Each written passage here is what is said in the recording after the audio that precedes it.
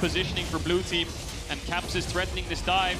Quickness coming out. Caps goes in with the Empress Divine. The knock up onto Comp as well. They put everything in the Comp basket and he's been shut down. Jankos takes him underneath the tower. G2 may have overextended Caps though with the Kingslayer just healing himself up. Blackhead in the midst of them as well. Stopwatch from him. Flashes away. Malrang trying to put the damage down, but Blackhead's still alive somehow. TP, TP into the base as Broken Blade looks to end the game. Caps diving forward in a 2v1. Caps wins these. Of course he bloody does.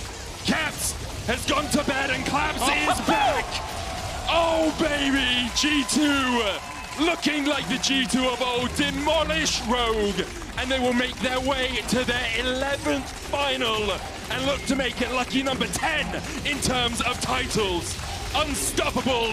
They look amazing right now. G2 will close it out 3-0 versus Rogue.